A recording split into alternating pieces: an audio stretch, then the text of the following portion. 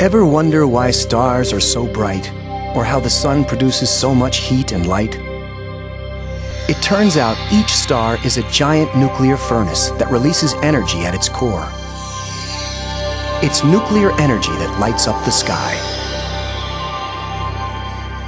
The sun is the star that glows closest to the Earth. It gets its energy by burning gases at its core in a process called fusion. Like most stars, the Sun consists almost entirely of two gases, hydrogen and helium. During fusion, hydrogen atoms collide with such strong force that they fuse together to make helium. Each second, 600 million tons of hydrogen convert into 596 million tons of helium. The missing 4 million tons of matter are transformed into energy. This process is only possible because of the enormous heat and pressure found at the center of the Sun. It's about 25 million degrees Fahrenheit in there. Energy moves from the center to the surface of the Sun with dramatic results. The most spectacular sight is an enormous explosion of energy known as a solar flare. These flares send radioactive particles into space particles that get carried by solar winds.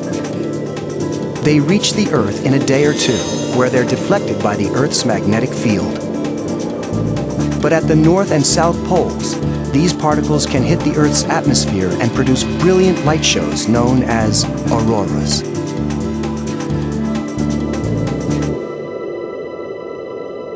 While not everyone has a chance to see an aurora, all of us certainly experience the sun's energy each day.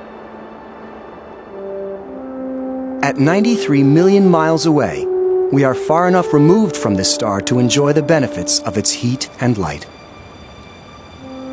During photosynthesis, plants collect energy from the sun's light and use it to make food. Like every star, someday the sun will run out of the gases that fuel it and gradually fade away. Astronomers believe the sun is more than 4 billion years old and has already burnt up about half of the hydrogen at its core. But no need to worry. It still has about 5 billion more years to go.